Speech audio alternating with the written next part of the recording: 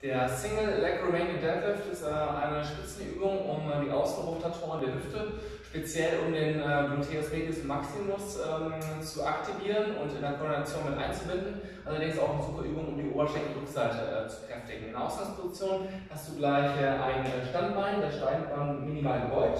Über dicken Zehen und Ferse hast du den Schwerpunkt genau in Fußmitte. Du lässt dein Becken gerade und versuchst das freie Bein gestreckt über die Hüfte nach hinten ähm, zu führen, sodass der Rücken in der Tendenz gerade bleibt.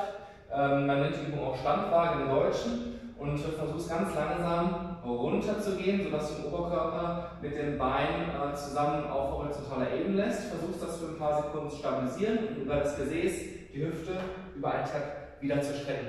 Die Phase runter ist entscheidend. Wichtig ist bei der Übung, dass du auf die Stabilisierung deiner Knieachse achtest. Das Knie nicht nach innen geht, sondern immer nach außen geführt wird, bei zeitgleicher äh, Stabilisierung über den Popo. Den solltest du auf jeden Fall spüren. Von vorne noch einmal äh, gezeigt. Beine angehoben, Bein nach hinten, achte auf das äh, Knie. Das versuche ich beim dicken Zehen immer verankert nach außen zu führen. Kontrolliert hier im Gesicht die Spannung zu spüren. Tap und dann in die nächste Wiederholung zu gehen.